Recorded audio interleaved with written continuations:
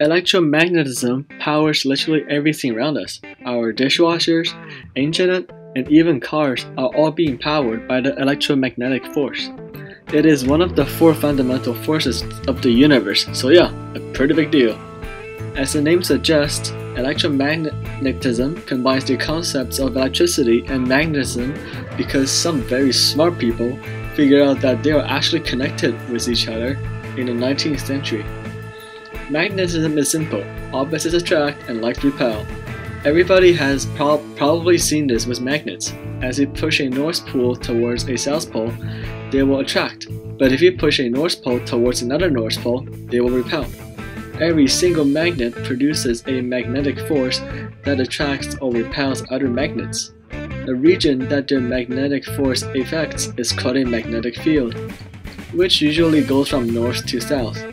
The needle in our compasses will always point towards the direction of the magnetic field. For example, the Earth is actually a gigantic magnet due to the liquid iron in its core, oriented like this. As I draw the magnetic flux lines, which indicates its magnetic field, we can see the reason why our compasses will always point up and towards the northern hemisphere.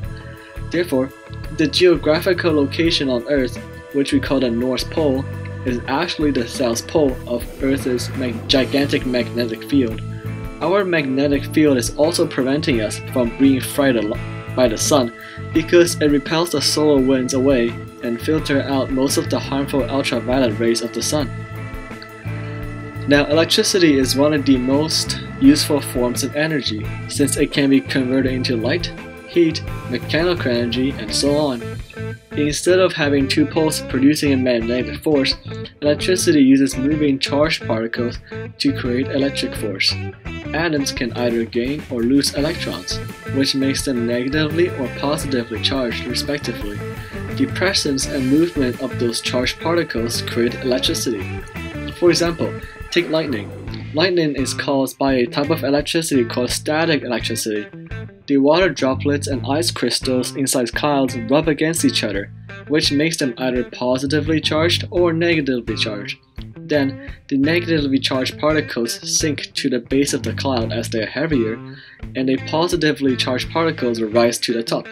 Going back to the concept of opposites attract, the negatively charged water droplets will attract the positive charges back on the ground, when the attraction force between the water droplets and the ground is strong enough, lightning, which is a very strong electric force, will be unleashed. Sure, both of them follow the opposites attract and lights repel rule, but how are they actually connected? Put simply, an electric current running through a wire produces a magnetic field, and vice versa. A change in magnetic field, called a magnetic flux, produces an electric current. This concept revolutionized modern technology as we learn how to create electric generators based on this principle. Let's take river dams for example, which is just a very big generator. In simplest terms, river dams create electricity by spinning magnets using the power of water.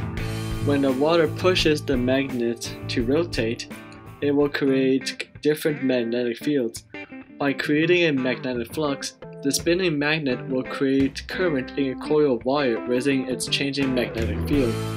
As we can see from the simulation, as the water moves the magnet, it creates the difference of magnetic fields, which is the magnetic flux, and the magnetic flux is responsible for sending a current in the wire next to it. This change in current direction is what powers this light bulb or any electronic. We call it an AC current which stands for an alternating current. And AC currents power nearly any appliance you can think of.